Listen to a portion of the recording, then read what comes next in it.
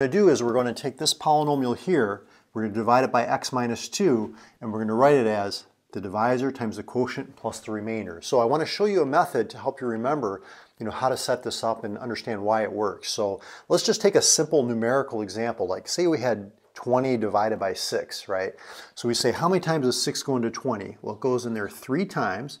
3 times 6 is 18 and remainder is 2, right? So if we want to get back to 20, which is like, in this case, like our original polynomial, what do we do?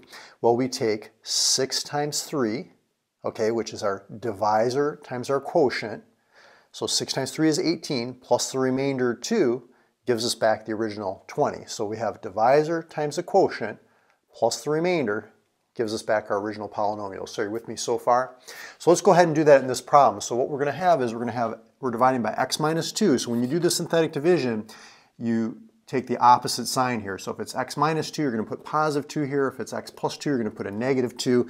If you want to see more about synthetic division, I'll put uh, a link in the description below to a video I did talking about how to do synthetic division. We've got 3x to the fourth, 0x cubed, 2x squared, 5x, and negative 1. So I put a 0 in for a placeholder since we didn't have any x cubed terms.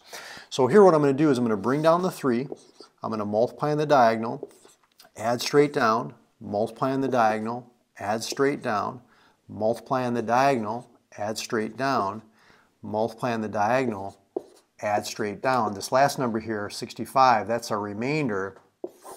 And so what we want to do now is we want to write our quotient. Quotient is our answer.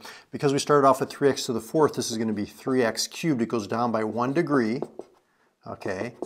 And this is our remainder. So what we're going to do is we're going to take our uh, polynomial, p of x, is equal to our uh, divisor, which is what we were dividing by. That's going to be the x minus 2, times our quotient. Quotient is our answer. That's this here, 3x cubed plus 6x squared plus 14x plus 33 plus our remainder, the 65. And you can double check your work on this if you want. You just have to multiply these two polynomials together, add the remainder 65, you're going to get the original polynomial back, which is this quantity up here. So great job. Again, if you want to see more about synthetic division, check out the video I did right there.